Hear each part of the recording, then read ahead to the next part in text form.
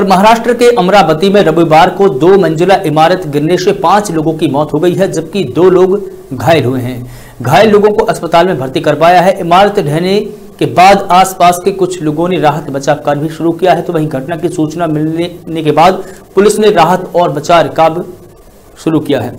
घटना स्थल से मलबे में दबे लोगों के शवों को बाहर निकाला गया है। बचाव दल ने सभी लोगों के शवों को बाहर निकाला है, लेकिन बचाव कार्य अभी भी जारी है।